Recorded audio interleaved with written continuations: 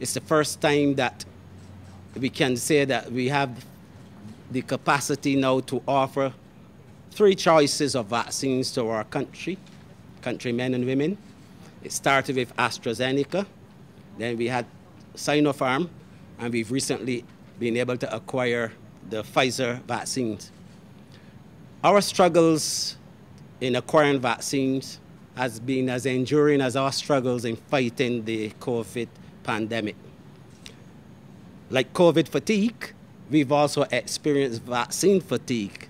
Trying, trying, trying, prom getting promises of dates of arrivals that some of them have not yet happened.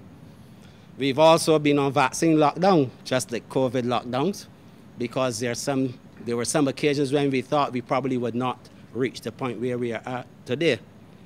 But I want to say that it is really a pleasure to have had the support and the cooperation of the international community through Gavi and COVAX that really has facilitated the vaccine and the final batch of vaccines that we are here to receive today.